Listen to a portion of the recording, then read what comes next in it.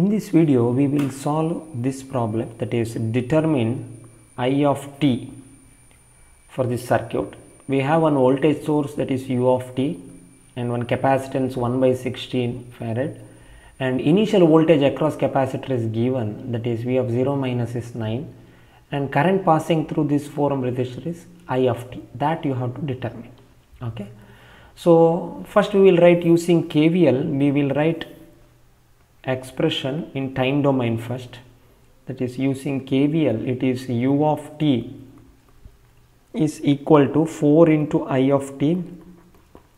And what is the voltage across this capacitor? Voltage across capacitor is first you should know till that is initial value you should know that is v of 0 minus we should know we will write v of 0 minus plus and while integrating we will start from 0 minus to t up to t we want.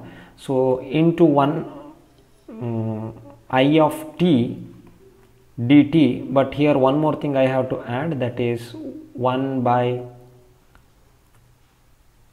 1 by c. You have to add 1 by c. So this what is the voltage across the capacitor you should first tell initial voltage across that that up to t v of up to t equal to 0 minus it is given 9 volt here you write here that.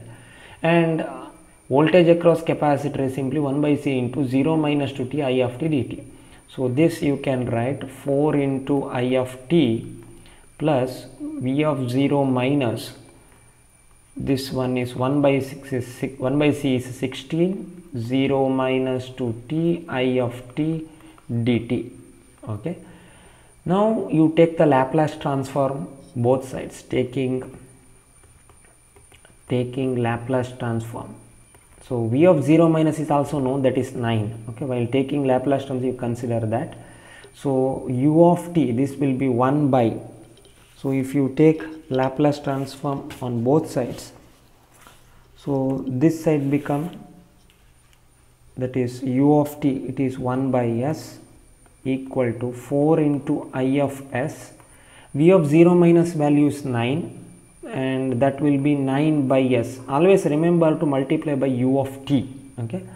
So we are interested in finding the circuit response after t equal to 0 okay? So 9 by s plus now this one this one what is the we are just now we have derived this one that is integration of i of t dt. If you take laplace transform of that one you will get this is i of s divided by s. So 16 into integration 0 minus 2t i of t dt is 16 i of s by s. Okay now you get expression for i of s here. So if you do mm, if you do here if you simplify this one you will get minus 2 by s plus 4 you try this. I am directly writing now. You just try you solve this. This simple algebraic equation. So you solve that. I of s you will get minus 2 by s plus 4 okay? Once you know that i of t you can directly find that is inverse Laplace transform. If you do you will get minus 2 into e power minus 4t u of t ampere you will get. Okay? So this is the solution. And if you use uh, classical the differential equation method then also you should get the same response here. Same response you should get. Okay